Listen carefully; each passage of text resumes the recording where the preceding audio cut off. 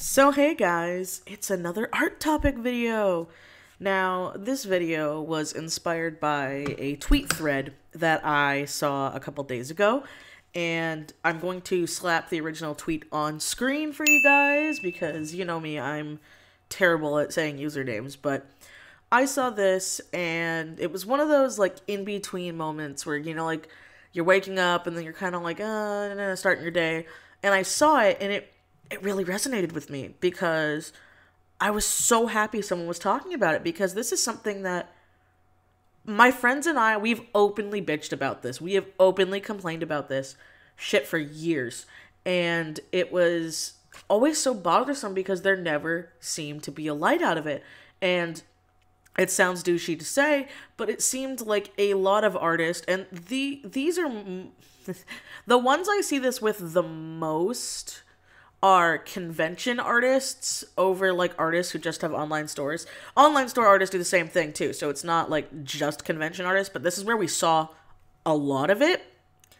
And I've also gotten some flack for it in the past, and so seeing this Twitter thread and just I, I read, I read like so many people's stories where I'm sitting here like, fuck, I'm not alone. And you know, I know it sounds like really self absorbed to be like, oh my god, you thinking you're alone, but it's like, no.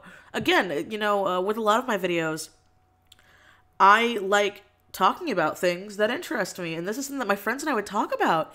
And it's that, you know, there's no nice way to say it. So it's like when artists are very, very rude. There are other people in the industry that do this too, but you mostly see it with artists, and it's it's like there's this weird like Sméagol hoard mentality of like, no, I don't want anybody else to know where I give my super special stuff. And I know it's like probably really insulting to some people, but it's how I take it.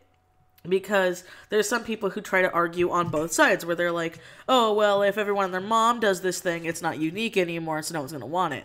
Or, you know, the opposite. It's like, oh, well, if I'm the only one who has this one super special thing, everyone's to flock to me when I feel like your art should do the talking for you. Same with your products. You know, um, people are going to probably debate in the comments, but whatever. You know, um, I've only done one convention. I'm doing more, and I plan I plan on doing you know more than what I'm currently doing in the future. But it costs a lot of money to invest into merch. And it's one of those things where if you're someone like me, where you're on a pretty tight budget, you can't really afford to have an endeavor flop.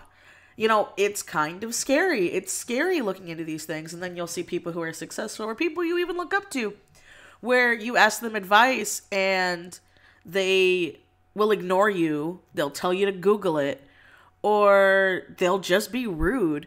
And I've had cases where I remember the first time this was big was I was in high school still. And this was either my second or third year going to Anime Expo. And this isn't like this isn't Anime Expo's fault. I need to say that. It's not the convention's fault. This was the artist. I don't even remember the artist at the time, but there was an artist where I believe enamel pins were like just getting big. Like, you know, people were just getting into doing enamel pins. And this was before, like, a lot of people, you know, openly talked about, like, Alibaba and AliExpress and stuff. Because a lot of people didn't. Those things, I believe they existed, but, like, people didn't fucking talk about them, you know? So people talk about them now, so it's more and more relevant, and people are being able to see it more common. But, great, my grammar's already all over the place, but this wouldn't be a Michelle video without it. So, I remember I asked them because I, at the time, I wanted to get into it. I wanted to do a convention. I remember for years, guys, years, I wanted to do conventions. And honestly, it's because of a lot of douchebag artists that I didn't do them so long. I kept I kept feeling like my worth wasn't enough to where I'm like, "Oh, these people clearly see myself under them because of the way they're acting. So I, I don't deserve to be here. I don't deserve to try. And I asked the artist where they got their pins made, and instead of just giving me an answer and being rude, they acted as if they didn't hear my question. Like they full on didn't answer me, which to me still sticks in my mind to this day because that is one of the most insulting things I think you could do to somebody. And, well, Michelle, how do you know they weren't? There was no one else at their table. And I was with a group of friends. It was the most awkward, weirdest feeling because I was very clear. I asked where they got their pins made and how the process was. I was very polite. I wasn't a dick about it. And I was planning to buy from them. So it wasn't like I was going to, you know, be like, mm, I'm going to learn how to make my own enamel pins. And then I'm going to learn how to steal your art so I can make my own pins. Especially when, like, like that's not how it fucking works because you have to give fucking resale. But anyway, uh, um, they just full on ignored my questions. There was like this really awkward couple of seconds of just silence. But you know, there was car noise in the background. It was like, okay, it's kind of awkward. And so me and my group of buddies just kind of walked away because it got really fucking awkward and it was really rude. And I have had a shit ton of artists be like, "Oh, Google it," or or be honest and be like, "I don't want to tell you where I get mine done." And some people will try to argue, like, well, yeah, if you have a super special niche thing, then you want to keep it super special and niche so that way, you know, you have like a high on the market. But while I can, I can like somewhat understand that debate, just because I understand it doesn't mean I support it or I like it. Because I think it's bullshit. I think, especially if the case, like, let's say someone didn't want to do conventions. Let's say they just wanted to make a nice print or make some nice art. A good example is um, people who would get uh, like gold gold foil versions of their prints, where like you know certain aspects of it were gold or silver or something. I remember seeing those, and I remember thinking like, oh, I would love to do some of that with my own art at the time. So I wasn't even gonna sell it. Asked people about it, wouldn't fucking tell me. And then reading this thread, you would see people who would openly talk about like well, if I give you my manufacturer, they're just going to be bogged down and the quality is going to go downhill. And I know I did that in a super snobby, like, bitchy voice, but that's how it sounds like to me. Because to me, might be projecting here or assuming, but it sounds like, huh, you probably paid dirt nothing for these charms, or charms, stickers, enamel pins, when they're already pretty cheap, even when you get them from a good supplier. So it's like, okay, for me to hear that is it's it's my mind goes to like okay, it's probably dirt cheap. So people who are actually making the product, because fun fact, uh, unless you actually have like the machines, you have to outsource. Everybody outsources. Very few people can afford to get machines to do it from the fucking selves because that's thousands of thousands of thousands of dollars worth of investment. Uh, so you're already paying dirt cheap, and so you're worried that these people are going to overwork themselves, so the market's going to be oversaturated. When I think it's dumb because when I use places like Zap Creatives, which is really big and a lot of people use them, they were just able to, you know, turn their business into a fucking business. To where, yeah, it got bigger, but now they offer more deals. They have better bundles. They still have a really nice turnaround rate. They're not sponsoring me. They're just what I use when I'm not doing a big wholesale order with my friends. And I think it's good to tell people, especially people trying out because like shouldn't we want to lift people up because I was I was beaten down pretty much. I was super didn't feel like my shit was worth it. And reading that thread, I would see people be like, "Oh yeah, people would only tell me where they got their stuff because I was a student, because I wasn't serious, because they didn't like the competition." And to me, you must not have a lot of confidence in your art to be an asshole, pretty much. Um, I've actually had artists reach out to me and be super pissed off that I, you know, I admit that getting prints made is like cents on the dollar.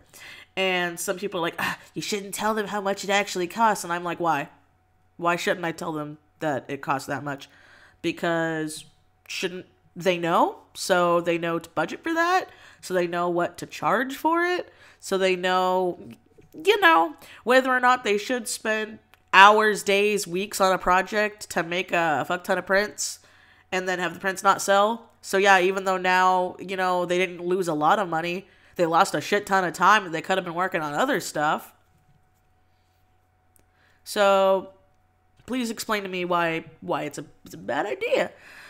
And, you know, when people ask me questions, I'll tell them where I get my stuff done. Uh, I get my prints done at Catprint. I get, again, like I said, I get my charms. If I'm not doing a, a big wholesale order with my friends, I do it through Zap.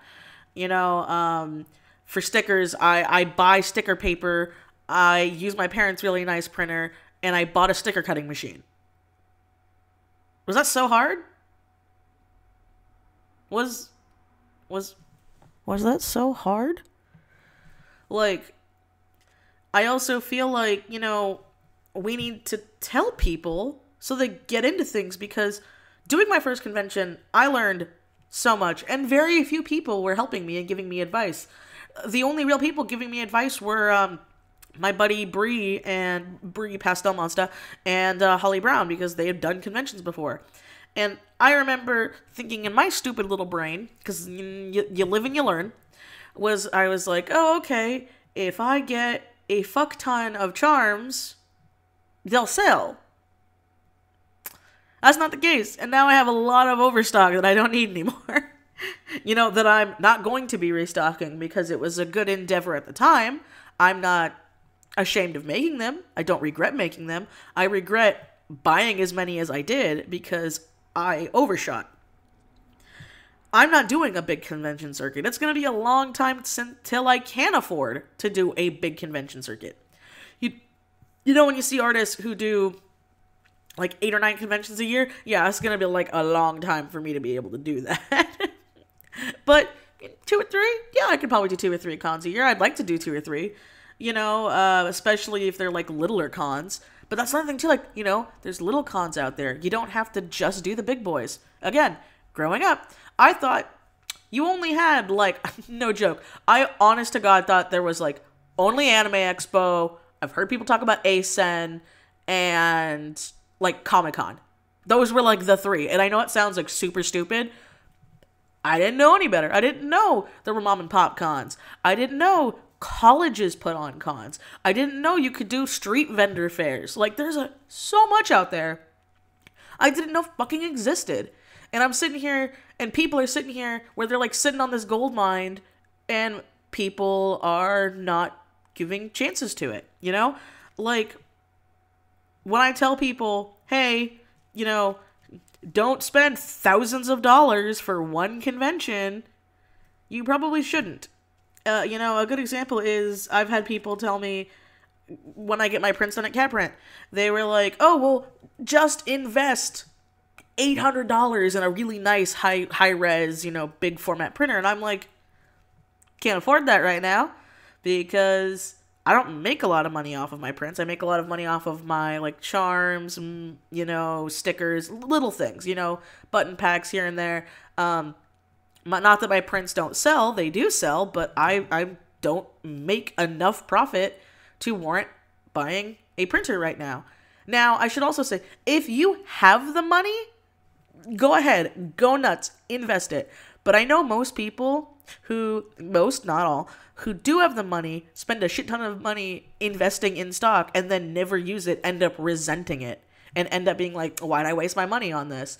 very few are like, oh, well, at least now I have this nice printer, so you know I can do this and that, or or oh, I have this and this now, so I can like help my friends out. Cause like I have my button press that I bought for really cheap, and I'm I'm planning on upsizing so I can have slightly bigger buttons. I've offered to my friends like, hey, buy the supplies, and I will literally make your buy the supplies and the like cost to get your thing printed out, this the the, the pad of paper, and I'll make I'll make your buttons for you boom, there you go. You know, like, or you'll see places that offer those again, because should I suggest that someone just starting out invest in a $300 button press? Now, to a professional, it's like, oh, $300, that's that's not that much. But, you know, to someone starting out, $300 is a lot of fucking money. For, for a lot of people, $300 is a lot of fucking money. I remember when I bought my button machine, I had to save for so long just to get a $200 button machine with I think it was like a thousand dollars. Uh, not that no, not a thousand dollars. A thousand parts. Sorry, but like that was a big investment for me. And then you know did my first convention, and I still have a shit ton of buttons that didn't sell, but I was able to make back the price of my button machine. But that was also because I you know thought in advance, put money aside for it, and planned for it. Um, there's a lot of people who, uh, Vexingly Yours, I've talked about her before. She does really good convention prep and convention like talking videos. I really like her videos because she's very honest about conventions she's done. And a couple of other friends of mine, you know, they've done conventions and they've given me advice. And then talk to other artists and they'll just be like, Google it. I don't want the competition. Or don't answer. And it's, to me, it sounds like you don't have a lot of confidence in your own art because if you're that scared of some rando asking you advice politely, no, obviously, if you're rude, you know, and they want to be rude back, that's fine. Or I had people be like, well, what if they get the question all the fucking time? Okay, then make a TOS. Make an FAQ. Make a video. I get people asking me commission questions all the time, and instead of getting irritated at it, I just link them to my commission video, which I'm probably going to be redoing with Aerofx at some point. But it's I'm like, okay, if there's any questions that you have that aren't on the video, please let me know because I was getting them all the time. There's a lot of ways you can make your life easier without being an asshole, in my opinion. And another really important thing is I've seen people, you know, um, who don't know basic tax info. Now, legally, I can't give tax advice, and I live in the US, and the tax advice varies state to state, but I know in California, you need a California seller's permit. You need to put money aside for California state tax and California sales tax. At least that's what my tax lady tells me. And so, you know, I've had to start charging tax on. And by the way, it is under what it is. I'm not actually like full on charging people the tax because that would be. Last time I was, I did my taxes, they said it was like 25 to 30%. That's a big increase, you know? So keep that in mind. When you're supporting an artist, depending on where they live, you know, 25 to 30% of that price isn't even going to the artist. That's going to taxes. So now you got to put, okay, 20, 30%. All right, so that's just just going to taxes because you need to pay taxes. You can get in a lot of trouble if you don't fucking pay your taxes. Um, then, you know, cost of getting the thing made. Okay, you got to put that in there. Then just an overall profit. And so there's a lot of work involved that not telling someone can screw them over. Uh, a friend of mine who's a commission artist, they, you know, they couldn't pay their taxes this year, which is really bad. And they didn't because they didn't put enough aside because they didn't know, they didn't ask, they didn't know how much they had to pay for tax. So they're like, oh, tax be like what, four or five percent? And it's like, no, it's a lot more than that. And so then they got screwed over and now they can't pay taxes and now they have to be put on a payment plan with the government.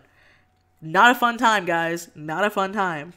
And that stuff you should tell people who are starting out, you know? You should tell people who are starting out, like, yeah, just because you're getting paid in cash doesn't mean you can't not, you can't not, um, you know, submit you made that money. I know, I, I've heard of a lot of people who are like, oh, well, if I get paid in cash, I don't have to say that I got paid for that.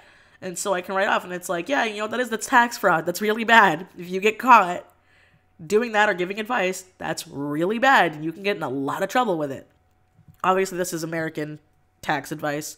Like legal, like I said, legally can't really give advice, but from this is from what, I, from what I've learned. I'm not a tax expert. Talk to an tax expert. Don't TurboTax. Go to an H&R Block, or if you have a family member or a friend of a friend who knows a tax person. Usually, everybody in some form or nature knows a tax person, whether it be like a friend of a friend's parent or a friend of a friend's friend and they can be a huge lifesaver. Same with keeping receipts on writing things off. You know, you see YouTubers all the time talking about how, oh, well, I tried to write off my house. And it's like, yeah, you can't write off your fucking house, dumbass. And I've seen people try to write off like every little nitpick and cranny for their stuff when it has nothing to do with anything. And then the tax people or the IRS are like, yeah, no, you can't write that off. See, that's pretty good information to let someone know when they're starting out. Or I've had people who they work part time jobs and do commissions and stuff on the side. And then they'll be like, wait, I have to do taxes still? Because, like, I'm not getting a W 2. And it's like, exactly. But you're still making money. So you need to collect it. You need to tell them about it. Even more so if you're doing like a seller's permit or you need an EIN number and stuff. And I know for a lot of people must be like, oh my god, I'm speaking jargon. But this is stuff that I didn't know. I didn't know. I always thought that, like, okay, pay for the booth if you get in, make the merch and sell it and boom, profit. I didn't know about taxes. I didn't know about, you know, legalities. I didn't know about rules and regulations of conventions. A lot of conventions are really strict about rules and regulations, and people don't know about that. And then you end up with people who bought a table, got all set up, or showed up the day of, didn't have a seller's permit. Now they're out. Now they're out the merch they bought for that convention. Now they're out the price of the table because they won't give you refunds. And now you're just sitting there like, oh shit, well, I hope I have an online store. My online store does well. And, you know, if you don't have a big online store, now you're just sitting with, with a giant hole in your pocket. And there's resentment there for that. And I don't I don't like seeing people fail. And I don't like seeing people fucking sabotaging other people. Which is why I wanted to make this video. You know, I'm very honest, and I'm I, I, I like to think, okay, so and so thing takes about meh dollar fifty cents to get made, maybe more. Uh, obviously less if you buy wholesale. And you then you know like okay you know what would i charge this? What's the average for that? And then you do that. Now obviously uh, there are a lot of artists where they are very popular and their art sells for a lot of money even though it is you know cheaply made. I'm not saying it's a cheap it's a cheap product. Like it could be a high quality product that is just happens to be cheaply like it, the cost of getting it made is cheap. I shouldn't say cheaply made. Oh, ten, stumbling over my words. What's new? And so, in doing so, I have seen artists sell charms that probably took them about uh, one, two dollars to make, maybe three if they're like really big or really fancy, selling them for fifty bucks, and they're selling. And some people are like, "What a ripoff!" And it's like, well, no one's making you buy it. Another thing that's important is supply and demand. Something else you have to learn. You know, um, if you have something at a cheap price, but you're you're selling out like hotcakes, to where you don't have time to invest into making new stuff because you're like, oh shit, these keep selling at this price. I have to keep reordering. I have to keep you know shipping them off. I have to like, you know, you end up you know, becoming a cog in a machine. And then you get extremely burnt out, extremely tired, and then people eventually are like, "Why aren't you making new stuff?" And because it's a business. You're running a business that's yourself when you're trying to do conventions, when you're trying to make merchandise, when you're trying to network and do your own thing. You you need to think of it like a business. You can't think of it like, "Oh, this is a fun little hobby," unless that is what you want to do. And you are doing it as a fun little hobby and you don't care if you're out thousands of dollars. But i've seen people be screwed out of thousands of dollars because they just didn't know any better and no one was wanting to help them and other artists who like revel in another artist's like misfortune which yeah there are some artists i don't personally agree with and i i don't want to ever support but am i going to go to a random person and be like hey don't support that person because i don't like them no because i think that's petty and rude and i think that's terrible you don't have to support somebody. You don't have to like somebody, but if someone else does, don't be a dick, you know? And if you have young people coming up asking for advice, probably means because they admire you or something. And usually they will buy something. I've had a lot of people give me the argument of like, well, if I tell them everything, then they're not going to buy anything. I just wasted my time. And I'm like, really? Because when I've had people be nice to me, I usually bought something from them. I was polite. I've, I've talked to other artists and they're about the same way. And then there's some people who don't ask advice and they're just rude to be a to be rude, you know? And these are the things we need to talk about. We need, you know, to art as artists, we always talking about fucking you know, bringing each other up and oh, we need to show people how hard but then it's like, but then you're like, you, you behind closed doors, you know, behind Twitter, you're like, I'm not gonna fucking help anybody because some of them just aren't good people. And again, you know, you'll see very, very popular artists sell shit that's really expensive, and you're just kind of like, oh, yeah, I'm never gonna get one. It's a luxury item. That's another thing people need to understand is they'll they'll they'll spend all this money investing in stuff and then be like, oh my god, why isn't this selling? And then it's like, well, it's a luxury item. You don't need that charm. You don't need that print.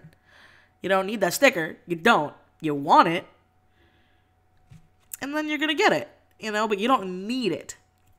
You know, you don't and I, I could probably also do a whole video of people who like haggle artists and you know you screw them over. So it's it's on both sides. You know, no one's gonna win. No, nothing in life is easy. But you know, if you want to help others and inspire others, when people are asking you questions, just be honest. Just be nice. You know, or hell, if you do make it at home, just say I make it at home. Or if people are like, oh, what do you recommend? Should I get this printer or this printer? Tell them what it is. I don't understand why artists are scared of competition. I don't understand why artists are like scared of all of this. And hopefully I made hopefully I made enough sense. Uh, trying to do better with my uh, my paper ASMR. Uh, but let me know if you this helped you guys, if other people have gone through things like that. Um, and yeah, okay. Hopefully this was good. And as always, guys, I will. See you next time. Bye.